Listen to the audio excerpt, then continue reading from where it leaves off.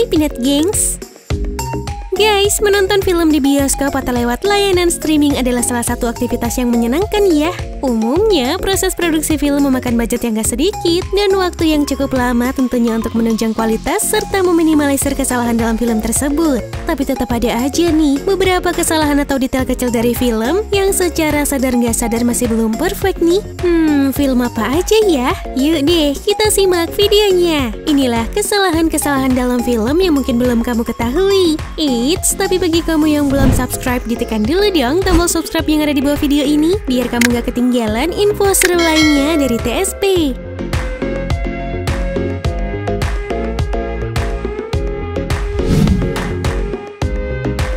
Quantum of Solace 2008 Buat kamu para pecinta seri film James Bond, pasti udah nggak asing dengan film ini ya guys. Film yang dibintangi Daniel Craig ini mampu meraup pendapatan lebih dari 586 juta dolar Amerika Serikat di seluruh dunia. Meski begitu, film ini juga nggak lepas dari kesalahannya tuh. Melansir buat culture.com, ketika itu Bond tampak duduk di sepeda motornya sambil melihat ke depan guys. Ternyata eh ternyata, seorang pekerja dermaga tampak menyapu lantai di sana. Hmm, tapi kalau dilihat-lihat alas sapu tersebut nggak mengenai lantai dermaga tuh. Aduh, aduh, ada yang notice nggak ya waktu nonton di bioskop? Hehehe.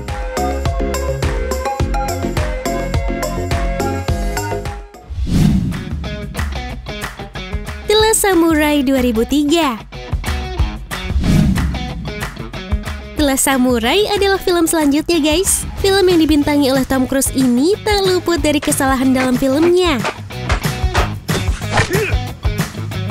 Melansir dari moviemistakes.com, ketika itu Katsumoto dan Algren mengendarai kuda melewati satuan pasukan. Saat Algren turun, terlihat di sisi sebelah kanan kaki belakang kuda menendang salah satu pasukan sampai mundur ke belakang gitu guys. Aduh gimana rasanya ya? Meski begitu, pasukan yang terkena tendangan dari kuda itu berusaha tetap kembali ke posisi awalnya. Hmm, memang tetap harus profesional ya bang? Hehehe.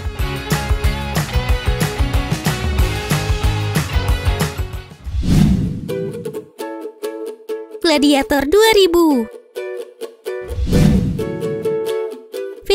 berlatar pada masa Romawi tahun 180 Masehi ini mengambil cerita tentang seorang jenderal bernama Maximus Decimus Meridius yang ingin kembali ke kampung halamannya pasca kemenangan melawan bangsa Jermani. Dibintangi Russell Crowe, film ini sukses mencatatkan pendapatan hingga lebih dari 460 juta dolar Amerika Serikat. Meski begitu, film ini juga nggak luput dari kesalahan kecil setelah ditayangkan di bioskop 20 tahun lalu guys. Melansir moviemistakes.com, ketika itu terjadi sebuah pertempuran di Colosseum yang mana saat salah satu kereta kuda terbalik, terlihat sebuah tabung gas berada di belakang kereta kuda tersebut, guys. Perlu kalian ketahui nih, kalau tabung gas itu baru ditemukan pada tahun 1910 oleh Dr. Walter O'Snelling. Melansir Elgas.com, Dr. Walter juga dijuluki sebagai bapaknya LPG loh guys. Aduh, ada-ada aja ya. Balik lagi nih ke pembahasan. Jadi, kalian udah tahu kan? Nggak mungkin ada sebuah tabung gas dalam perang yang berlatar tahun 180 Masehi itu. Karena tabung gas ditemukan tahun 1910 guys. Nggak sampai situ aja, dalam akhir film tersebut Maximus terlihat tergeletak di tanah dengan bidang yang datar. Tapi dalam adegan film selanjutnya, ada gundukan tanah tuh di kepalanya. Hmm, kalau menurut kamu gimana guys? Hihihi.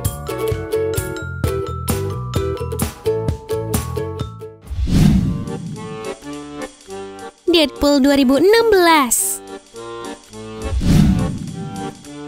Film superhero nyeleneh yang kadang gak masuk akal ini juga gak luput dari kesalahan kecil nih guys. Setelah ditayangkan pada tahun 2016 lalu, walaupun film ini mempertontonkan adegan aneh, sepertinya cuplikan adegan ini terlewat deh dari mereka. Ketika itu, Ryan Reynolds yang memerankan tokoh superhero ini ditusuk menggunakan pisau di kepala sebelah kanannya guys. Ya, kita tahu kalau Ryan akan tetap hidup di film ini, tapi setelah menarik pisau dari kepalanya, adegan selanjutnya malah tidak memperlihatkan bekas ada sobekan di topengnya akibat tusukan pisau di kepalanya itu. Hmm, gimana nih menurut kalian guys?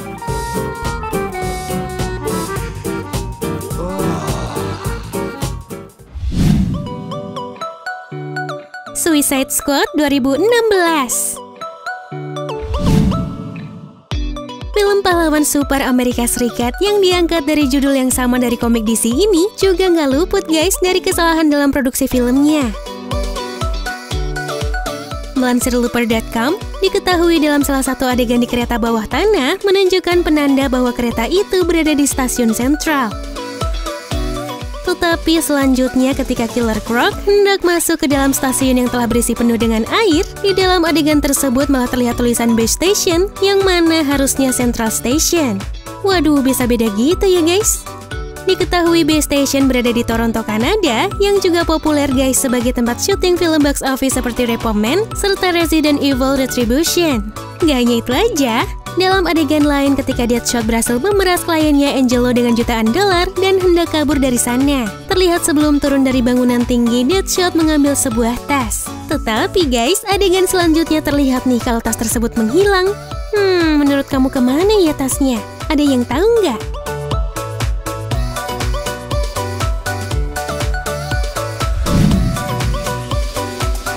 Pirates of the Caribbean 2003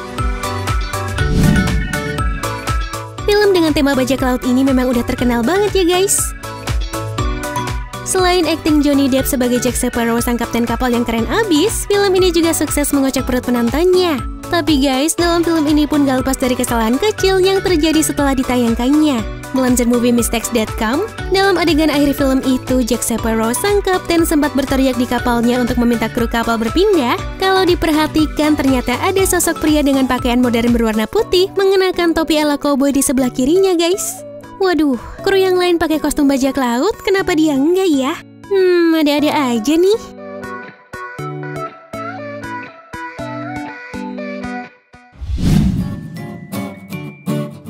Dallas Buyers Club 2013.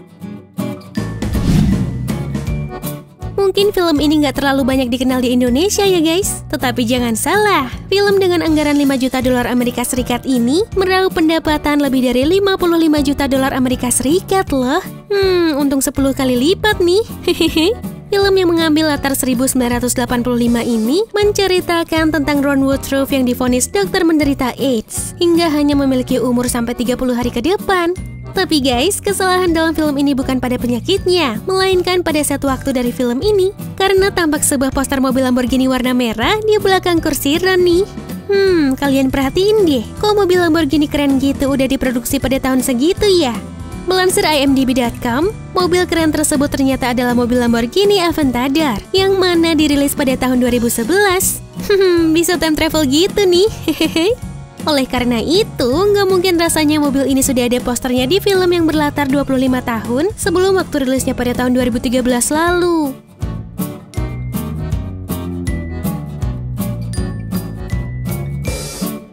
Nah guys, itulah kesalahan-kesalahan dalam film yang mungkin belum kamu ketahui. Kalau menurut kamu nih, film mana yang paling parah kesalahannya? Komen di bawah ya. Sampai jumpa and have a nice day.